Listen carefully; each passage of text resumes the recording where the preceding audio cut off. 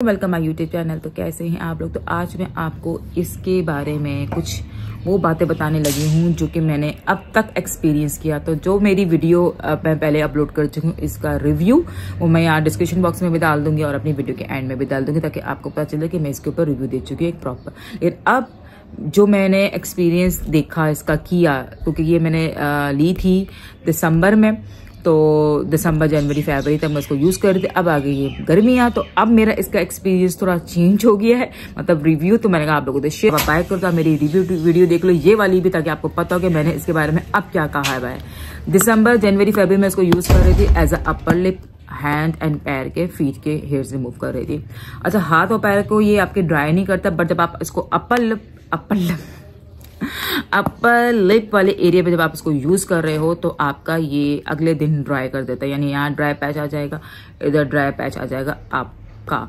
दो दिन तक रहता है वो ड्राई पैच आप इसको मॉइस्चराइजर करके मैं रखती थी, उसके बाद वो सेटल हो जाता था।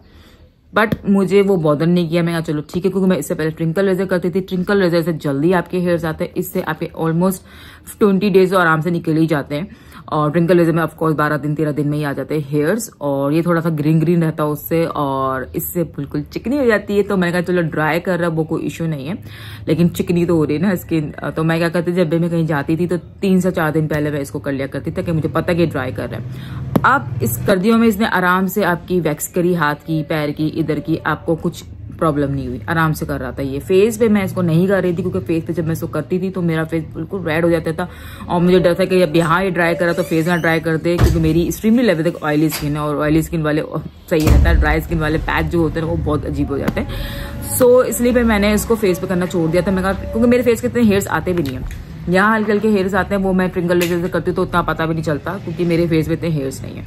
ठीक है, और अगर आपको यूज़ टू हो अपने आप वैसे पहले भी वैक्सिंग करते आए हो तो आप यूज़ कर सकते हो, लेकिन मैं पहले वैक्सिंग नहीं करती थी ट्रिंकल रेजर करती थी, जो कि मैंने उस वीडियो में आपको बताया भी है।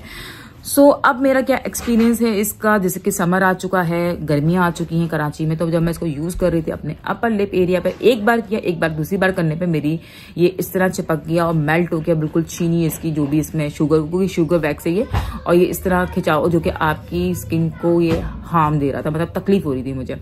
इधर भी मैं कर रही थी तो इधर भी तकलीफ़ हो रही थी।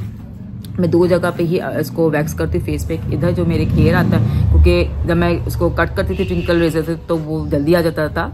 और यानी इसमें मेरे इस, जो तरह के होता है ना, तिल तिल के अंदर जो हेयर हेयर होता है, मुझे बड़ा डर लगता है। वो मेरा इधर आता है। तो उसको वैक्स करती, इससे तो मैं आराम से पंद्रह से बीस दिन मेरा चल जाता है। इसी तरह अपर लिप ये मैंने आपको बताया। तो मैं, अब जब गर्मियों में इसको करने लगी तो मेरा ये इस तरह हो गया। तो आपको मैं ये सजेस्ट करूँगी, इसको जब आप बाय कर रहे हो तो आपको ये पता होना चाहिए कि ये इस तरह करेगा गर्मियों में। तो आप इसको यूज़ करने से पहले कुछ देर फ्रिज में रख दें।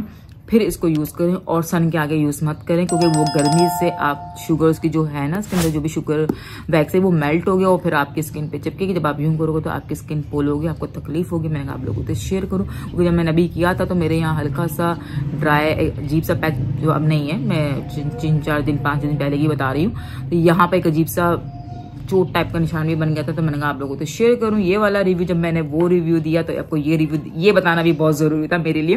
कि मैं आपको बताऊँ, जब आप बाय करो तो आपको ये पता होना चाहिए कि बिना नहीं, के बिका है इसके बारे में। तो फ्रिज में डालो, इसको ठंडा करो, क्योंकि इसको ठंडे की आदत है, इसको विंटर की आदत है तो आप इसको ठंडा करो विंटर में करो, और उसको रूम टेम्परेचर में बैठ के इस पे वैक्स करो, ना कि सन के आगे, क्योंकि भाई मेल्ट होगा तो आपको वैक्स नहीं देगा ये। मतलब ऐसा हो जाएगा।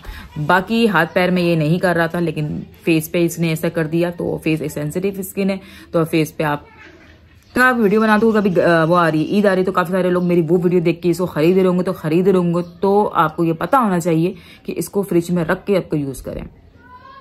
तो आई होप आपको मेरी छोटी सी वीडियो रिव्यू वीडियो अच्छी लगे तो अच्छी लगे तो अपने लाइक कमेंट शेयर कर देना। अल्लाह